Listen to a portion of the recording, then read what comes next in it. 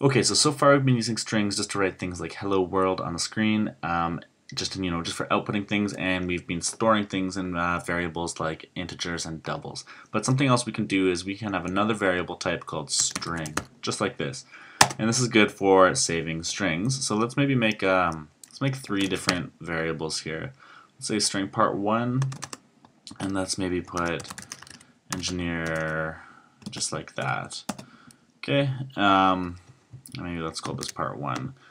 Uh, let's make another one, string, oh, let's say part two, and we can say, we'll put a little four in there, and then string, let's say part three, all right, and we will assign the string free into there, just like that. Okay, finish all those off with semicolons, and what we can do is, here, if we just go like this, we can cout um, maybe part one, oops, part two, and then part three. Okay, just like that. Now if we just go compile this, um, give it one second and we run that, there we go. It says engineer for free. And those are actually three separate strings. Um, you know, they just we didn't put spaces in between them. So what we could do here if we want um, to separate strings, maybe we could go like this, and then we could just use our conventional string, you know, that we've been using like that. Um, just put spaces in between all of them and then when we go compile that and run it we're going to see that now it's printing spaces. So something else we can do is we can store strings in strings. Um, let's delete this uh, like that. Uh, let's delete that. Something else we can do is maybe say, um, let's define another string called, let's say, whole name. And what we can do is in this we can have um, part 1 plus part 2 plus part 3. Okay, simple enough. And then we can just cout, um, what do we have? Whole name. Awesome. And then end line.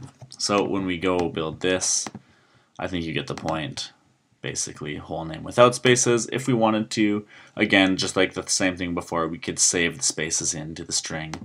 Um, for example, if I just went like this, um, now when we do this, now when we compile it, you're going to see that that space is actually included in the string. Okay, so this is useful. Maybe you want to make a list of names or something. You'd have name 1, name 2, name 3, and put a bunch of people's names in here. Um, something else we could do is um, sometimes it's good to have, uh, here, we'll take this out, pretend that never happened. Um, what we can do is we can find maybe the length of a string or we can find uh, substrings within strings. So first of all, we can um, we can find out how many letters are in our string um, by assigning here. Uh, it's an integer, we like this, and let's call it n. And uh, what we do is we're using a member function. Um, this it looks a lot like this. this whole name like this is the name of our function of our string that we're going to use. And then we can invoke this with dot notation is what they call it and see it's already prompting us there for length and just go like that. So now when we cout um, n just like that and line um, we're going to see it's going to tell us how many characters are in our string when we run it so there we go. We're not seeing out anything else anymore. The only thing we're seeing out is the number of characters, and sure enough, if you count this up, it is 13. Okay, um, now the other thing I said is we can find substrings, and sometimes this is a really useful thing that we want to do. Um, so we have, uh, we can leave that here, I guess. We don't really need to delete it yet.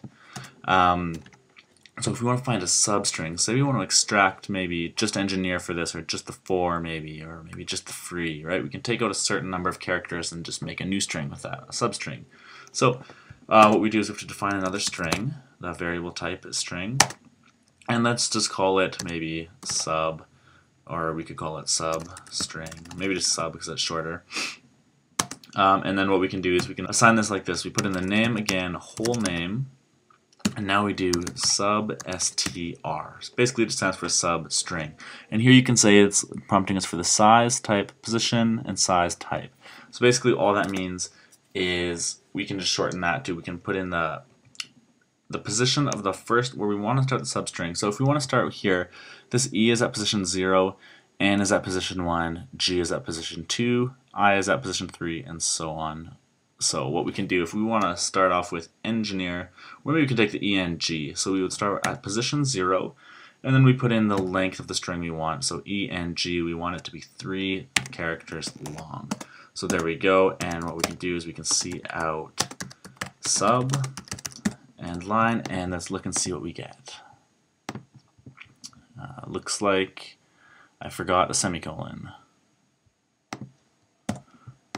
There we go. And uh, it doesn't really matter that I haven't used that integer n. So, anyways, there we go. There we look at that. We're printing out E and G.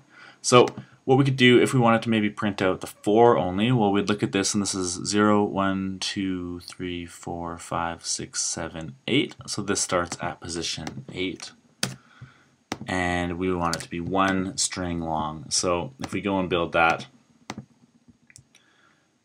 it looks like that. We're going to print out that 4. This 4 is now our substring of whole name, that string that we called it. So anyways, that's a quick introduction to using strings as variables, and I'll see you in the next video, and we'll talk about structures.